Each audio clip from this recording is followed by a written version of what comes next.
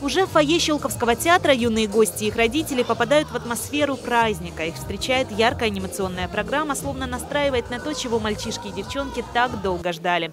И вот звонок зовет всех в зрительный зал. В гости спешит сказка. По поручению главы округа Андрея Булгакова жителям сразу трех муниципалитетов Щелково, Фрязино и Лосино-Петровского был сделан этот предновогодний подарок. На следующий год у нас э, нашим президентом Владимиром Владимировичем Путиным объявлен э, годом семьи. Для нас важны Э, все силы. Э, по поручению главы городского округа Щелкова Булгакова Андрея Алексеевича э, мы делаем этот праздник для вас. Очень надеемся, если вам понравится и получим от вас обратную связь, мы будем это делать на постоянной основе. Замечательного, теплого, хорошего представления. Ну и чтобы подарочки были вкусными. Хорошего всем представления.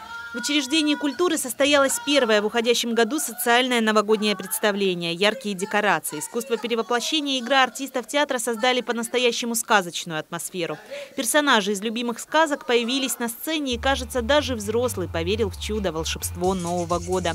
Без подарка не остался никто, но главное – то настроение, те эмоции, которые получил каждый гость Щелковского театра. Благодарю от имени многодетных семей города Фрязино, в том числе от своей личной семьи, за то, что вы про нас не забываете, за то, что вы а, предоставляете такую прекрасную возможность а, посетить замечательные представления, а, что подарки деткам предоставляются в преддверии Нового года. Это вообще очень приятно для детей. Это всегда да, сюрприз, праздник, радость, веселье. Поэтому мы очень благодарны отличное новогоднее настроение. Так что огромное спасибо от, э, от семей городского округа Традиция, когда вместе собираются жители трех городских округов, будет продолжена. В планах еще много совместных дружеских приятных встреч, увлекательных мероприятий.